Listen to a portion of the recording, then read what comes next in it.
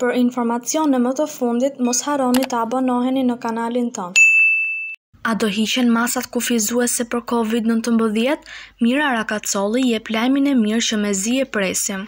Njëzet e pesë prilli po afron dhe zëvendësministrja e Shëndetësisë, Mira Rakacolli, shpjegon se procesi i votimit mund të mos përbëjë një risk shtesë për shëndetin e njerëzve, ndërsa për përditësimet Covid nëntëmbëdhjetë, vërehet një rënie e numrit të infektuarve.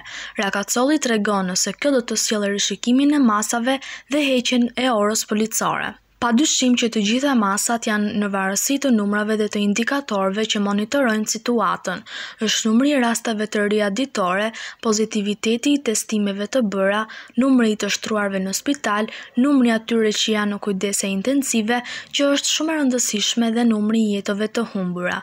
Ndërthurja e këtyre indikatorëve na sugjeron në nivelin e masave që duhen mbajtur për t'i kontrolluar këto indikatorë. Masat janë gjithmonë në përputhje me indikatorët dhe me hetimin epidemiologjik që ka shumë elementë, por një nga elementet është gjetja e vendeve ku ka ndodhur infeksioni.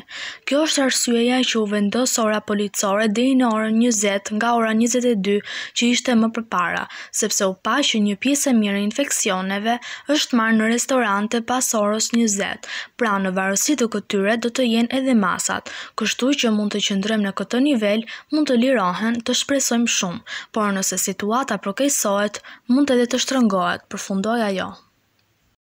Për informacione më të fundit mos harroni të abonoheni në kanalin tonë.